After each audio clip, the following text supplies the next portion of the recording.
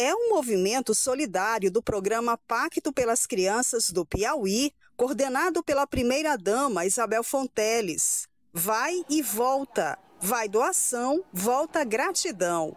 A primeira ação vai ser um bazar solidário. O evento vai acontecer no Teresina Shopping entre os dias 7 e 9 de novembro.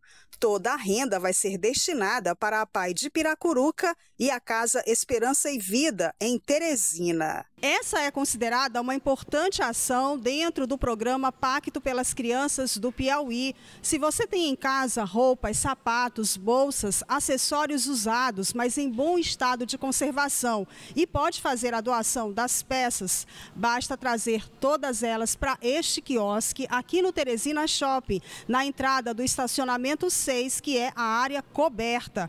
Toda a renda obtida com a venda das peças vai ajudar crianças carentes no estado. Estamos arrecadando as peças, roupas, adulto, infantil, é, bijuterias, acessórios, até o dia 5.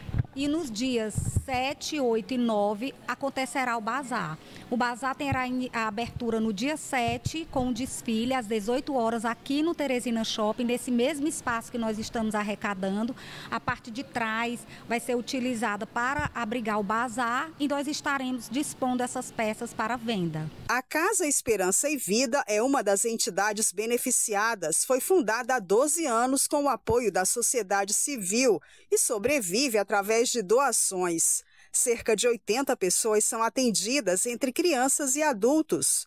Elas recebem o apoio necessário durante o tratamento do câncer, têm acesso à alimentação, medicamentos, assistência social e serviços médicos de voluntários. Nós estamos passando por um momento muito difícil na instituição, né, de, de recursos mesmo, e veio uma boa hora, né, esse bazar. A gente está assim muito animada, né, para participar também e para convidar as pessoas que possam vir a estar tá doando, né, e participar comprando também, né. E são pessoas que necessitam desde o básico, a alimentação mesmo, até o mais elevado como atendimentos médicos que a gente também disponibiliza aqui da casa. Então é um suporte essencial para essas famílias.